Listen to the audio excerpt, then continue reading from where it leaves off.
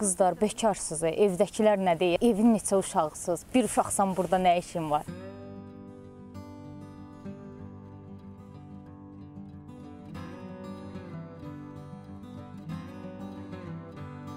Eşidəndə ki, çadırda qalırsan, çox belə şoka düşürlər də. Gecə heyvan gəlmir, bu belə olmur, o elə olmur. Yəni heç kimin ağlına gəlmir ki, Azərbaycanda elə bir şey ola bilər ki, kimsə avtostop eləyər, harasa gedər gəzməyə.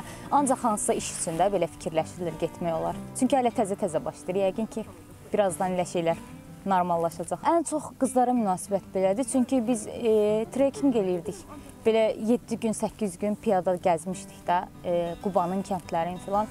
Ya orada normal qarşılanır ki, tək oğlan belə var ki, gəlir, gəzir, ha, o, o yerə gedir, o orada qalır, o belə eləyir filan. Amma bizə deyirdilər ki, getməyin, gedə bilməyəsiniz. Orada qar var, ayı var, çovğun var.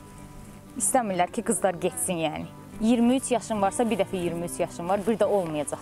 Bu şeyi bir də təkrar eləyə bilməyəsən, bu yaşa qayıda bilməyəsən. Ona görə bunların hamısını vaxtında eləmək lazımdır. Burada qorxulu ya da çətin olan heç nə yoxdur. Çox əyləncəlidir həqiqətən.